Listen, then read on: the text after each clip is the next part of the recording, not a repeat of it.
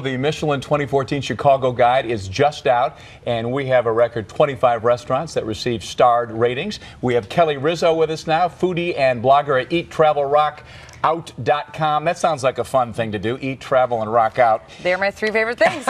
Kelly, it's good to see you. So let's talk. me. Let's talk about this. So 25 stars up from from 19. So that's uh, we should be pleased with that, right? We should be. It's a very yeah. good year for Chicago in the four short years that Chicago's been a part of the Michelin Club. Yeah, right. Which now we're finally able to be a part of it. So yeah, 25 stars. Right. So New York and, and San Francisco have, have, many more restaurants with stars, but we're catching up, right? Exactly. Yeah. We've only been a part of the rating system here for the last four years since 2010. Got it. Since Michelin started over 100 years ago, and yeah. now we're finally a part of it. Finally recognize the city as perhaps having things to offer. Okay, so Alinea at the top of the heap again, right? Yep, it's top dog. It's the big daddy. The big three daddy. stars, the only one with three stars. What makes it so special, you think? That one science. Well, Chef Grant Achatz is just world renowned now for his molecular molecular gastronomy and how creative he is and just the story that he brings to the food and it has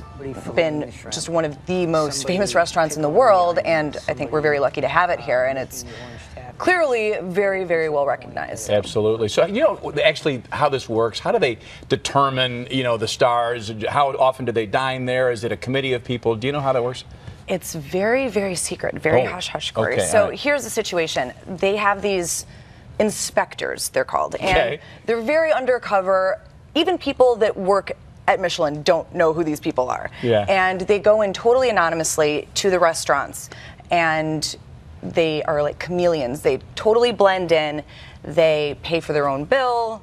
Nobody knows who they are, which is good because they're not able to be influenced or bribed in any way to maintain the integrity of the process. Right, I get it. You wouldn't put on a special spread because you knew exactly. the guy was coming from Michelin. Okay, exactly. so uh, Grace is getting a lot of buzz, and they made the list for the first time. I right? know that's yeah. who I'm really excited about. Chef Curtis Duffy, such a great guy, brilliant, um, so passionate about his food, and it shows up in every single square inch of that entire restaurant. It is just an incredible experience the I mean from the second you walk in to the second you leave, it is such an amazing experience and so he deserves it the whole team there deserves it they've done such an incredible job so i'm so happy to see grace on the list they've only been around for what 11 months or something yeah I they just opened yeah. last december i believe yeah. yeah. i went there for friends and family like got Time flies, yeah. yeah. It feels like a couple months ago, but it's been almost a year. Oh, Kelly, uh, let's get to snubs. Anybody uh, you, you, felt got left off the this list? the juicy one. Yeah. Okay.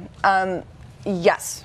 Yeah, of course. Yeah. Um, next, the restaurant next um, is one of my favorites that I feel should have been on the list. A lot of people feel this way too. It's definitely like how how can they not put next on the list?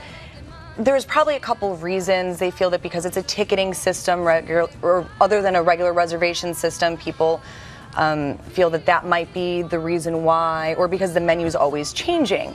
But I feel that if Chef Grant Achatz can have three stars at Alinea, he surely can at least get one or two stars for next. Sure, um, sure. The the cuisine is definitely up to Michelin standards, that's for sure. Yeah. And I feel that they got snubbed. My other favorite restaurant that I was so bummed not to see on the list, or at least get a bib gourmand, is Carriage yeah. House in Wicker Park. Okay, I've heard a lot about it. Yeah, it is yeah. absolutely incredible. Chef Mark Steuer is I mean, the labor that goes into each of his dishes is absolutely unbelievable. I mean, I, like his pork shoulder dish, it's like 5,000 hours goes into his dish. It's, it's amazing.